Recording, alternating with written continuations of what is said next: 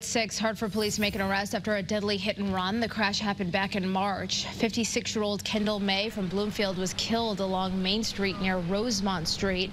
May was the head coach of the basketball team at Prince Tech. Police say a gray Jeep Cherokee left the scene, and today police arrested 41-year-old Haymus Workman on several charges.